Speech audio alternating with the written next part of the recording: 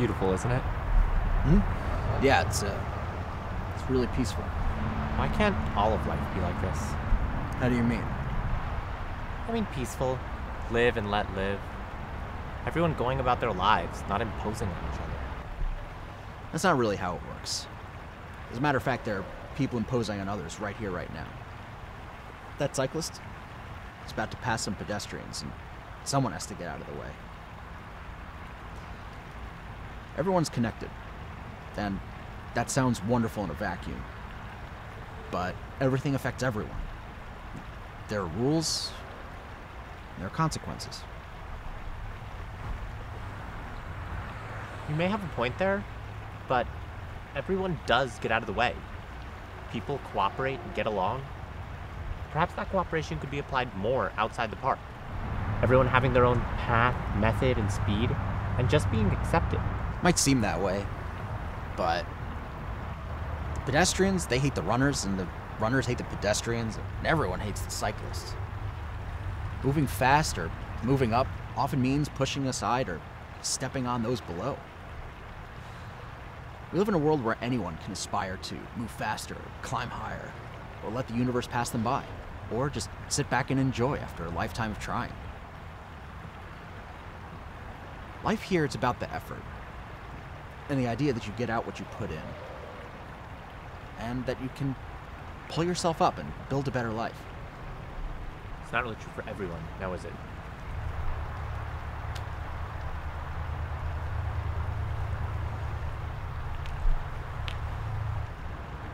They say all men are created equal, but their circumstances certainly aren't.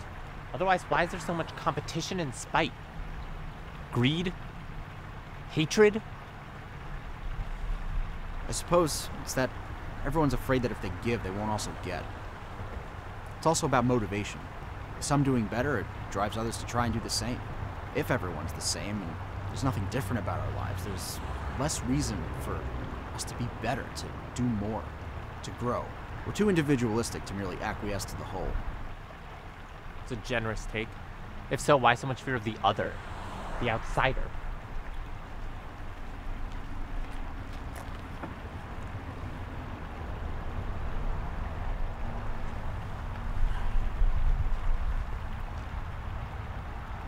We fear what we don't know or understand. We're programmed to be communal and social. We surround ourselves with those like us because we feel safety and comfort in that. Validation. What about variety is the spice of life?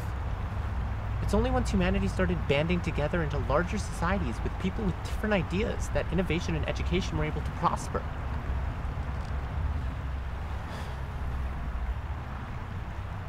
Maybe there's something to that. Human history is filled with groups getting bigger, while also fighting outsiders who spoke, looked, or believed differently. But recently, we've made great strides in becoming more inclusive. But you're not there yet. No, I suppose we're not. But we're working on it.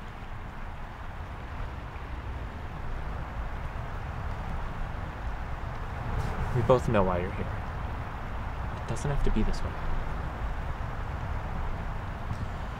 You know that it does. I really think we could have gotten along. We're not all that different.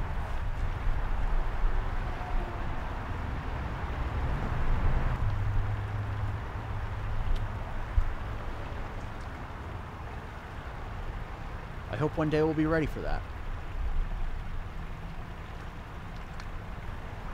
This was nice. Indeed. But you can't stay. Okay. Send me back. I wish it were that simple. I see.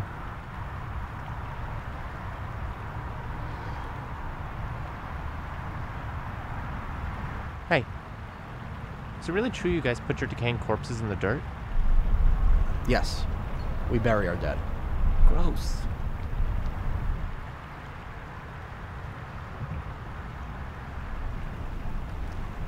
Really was a beautiful night. It was a pleasure meeting you.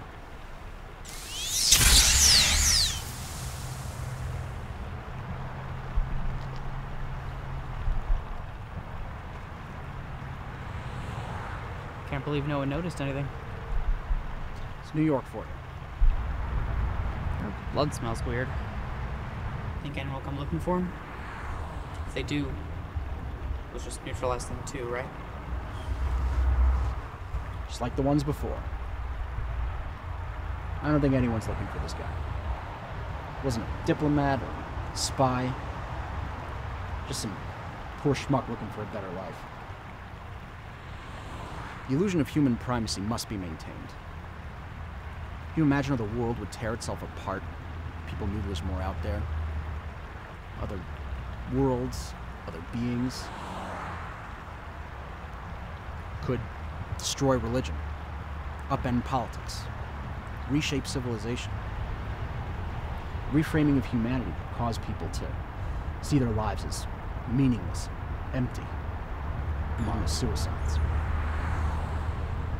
We don't even know if any of these planets are friendly. We can't take that risk. We're just not ready. Maybe someday we will be. But not today. And probably not tomorrow.